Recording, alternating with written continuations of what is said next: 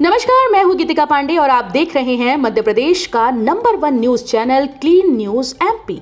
चलिए देखते हैं मध्य प्रदेश की सभी शाम तक की मुख्य खबरें फटाफट अंदाज में।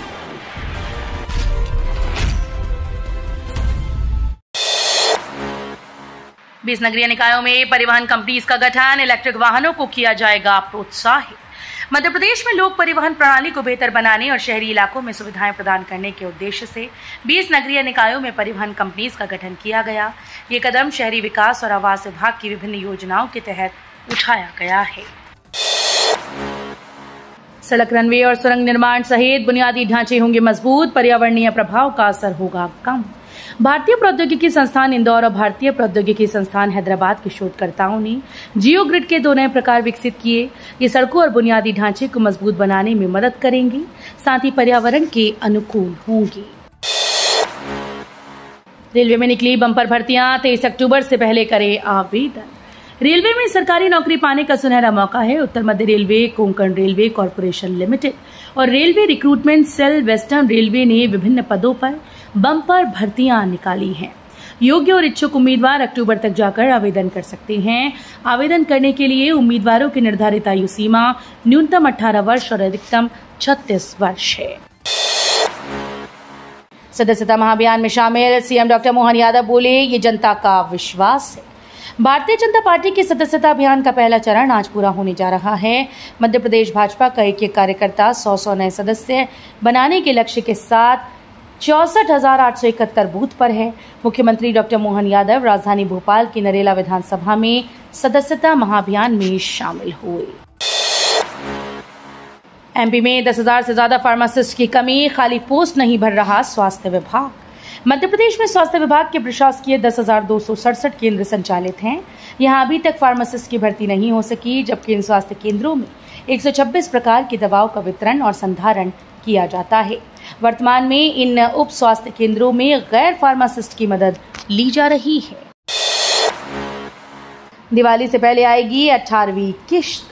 नियमानुसार पहली किश्त अप्रैल, जुलाई, दूसरी किश्त अगस्त से नवंबर और तीसरी किश्त दिसंबर से मार्च के बीच जारी होती है। ऐसे में अठारहवीं किश्त अक्टूबर में जारी होने की संभावना है। हालाँकि फाइनल तारीख को लेकर आधिकारिक पुष्टि होना बाकी है। सभी संस्थागत भूमिधारक इस योजना का फ़ायदा नहीं ले सकते।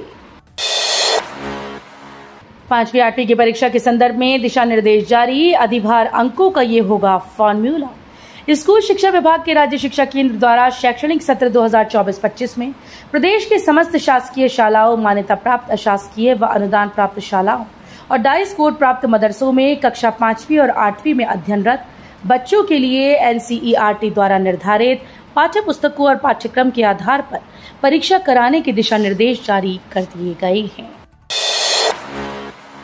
चौबीस लाख से अधिक लाडली बहनों को साढ़े चार सौ रूपए में रसोई गैस सिलेंडर का लाभ। मुख्यमंत्री लाडली बहना योजना के लाभार्थी बहनों के लिए खुशखबरी है। नियम के तहत योजना की अगली किश्त अक्टूबर में आएगी। इसके तहत फिर से बारह सौ पचास रूपए, एक दशमलव दो नौ करोड़ लाडली बहनों के खाते में भेजे जाएँगे। इसके अलावा पात्र लाखों लाडली बहनों को साढ़े चार सौ रूपए में गैस रिफिल कराने का लाभ मिलेगा। एमपी के अट्ठाईसवें चीफ जस्टिस बने जस्टिस कैद हरियाणा में कैथा ज़िले के रहने वाले जस्टिस सुरेश कुमार कैत ने मध्य प्रदेश के अट्ठाईसवें चीफ जस्टिस के तौर पर शपथ ली है। राज्यपाल मंगू भाई पटेल ने राजभवन में आयोजित एक कार्यक्रम में उनको शपथ दिलाई। मुख्यमंत्री डॉक्टर मोहन यादव, पूर्व मुख्यमंत्री दिग्विजय सिंह, पूर्व गृह मंत्री नरोत्तम मिश्रा, मुख्य सचिव वीरा राणा सहित और भी कई नेता और अधिकारी इस मौके पर मौजूद रहे। इंदौर उज्जैन समेत इकतीस जिलों में तेज, दस में भारी बारिश का अलर्ट। मध्य प्रदेश में लो प्रेशर एरिया के असर से अगले तीन दिन तेज बारिश का दौर बना रहेगा। नर्मदापुरम की पिपरिया और बालाघाट में बुधवार सुबह से बारिश हो रही है। मौसम विभाग ने इंदौर उज्जैन समेत इकतीस जिलों में तेज बारिश का अलर्ट जारी किया। दस जिलों में भारी बारिश का अलर्ट है। तो ये थी शाम तक की मुख्य खबरें। रोज़ाना ऐसे ही मध्य प्रदेश से अपडेट रहने के लिए क्लीन न्यूज़ एमपी को अभी सब्सक्राइब करें और वीडियो को लाइक करना बिल्कुल न भूलें। धन्यवाद।